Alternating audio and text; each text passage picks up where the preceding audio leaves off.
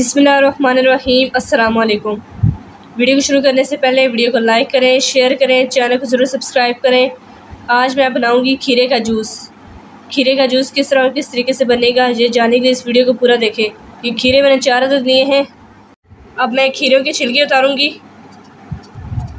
जिस तरह मैं उतार रही हूँ, आपने भी इसी तरह ही उतारना है।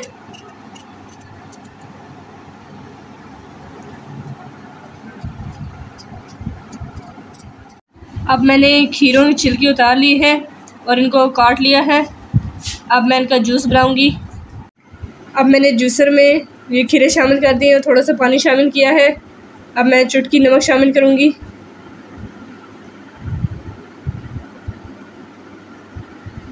अब मैं इसे ब्लेंड करूँगी।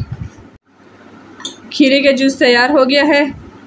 अब मैं इसे ग्लास में सर्व करूँगी और आपको दिखाऊँगी। माशाल्लाह से हमारे खीरे का जूस तैयार हो गया है।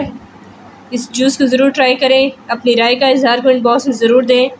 वीडियो को लाइक और शेयर करें। चैनल को ज़रूर सब्सक्राइब करें। और आखिर में जो वीडियोस को ज़रूर देखें। आपको बहुत पसंद आएँगी। मुझे दीजिए इजाज़त। खुदा हाफिज़।